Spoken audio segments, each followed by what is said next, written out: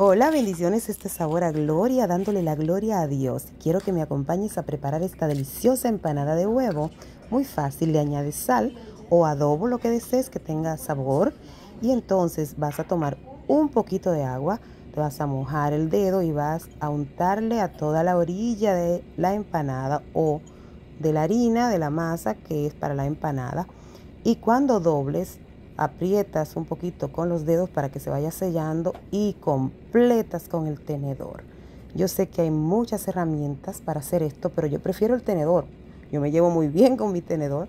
Entonces volteas la masa y del otro lado también aplastas, es decir, en la misma dirección que hiciste del lado anterior, dejando un hoyo, un orificio para que pueda entrar el huevo. Obviamente, si esta parte es un poquito incómoda porque como que medio se queda medio monguita la masa, pero igual con un poco de paciencia lo vas a lograr. Si tienes un envase con un piquito que no se le salga la clara mientras vas echándolo mucho mejor. A mí se me salió un poquito, pero igual calma que no pan del cúnico, el huevo está ahí casi casi completo, solamente se salió un poquitito.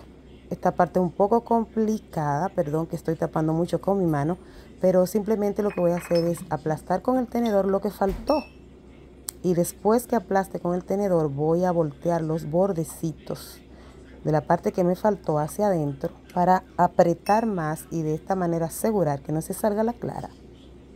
Quizás se te salga el huevo en un par de veces que lo hagas, pero ya en la tercera vez te aseguro que te va a quedar completito. Ahora vamos a freír. Si tienes mucho aceite, pues no hagas esto que estoy haciendo. Utiliza el aceite, olvídate de eso utilice el aceite que tengas porque debe cubrir la empanada. Estoy haciendo esto con la cuchara porque no tenía suficiente aceite.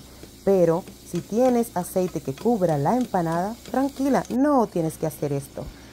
Te recuerda que el huevo está súper crudo y debe cocinarse muy bien, así que hay que cocinarlo poco a poco a fuego medio y que no se queme tu empanada.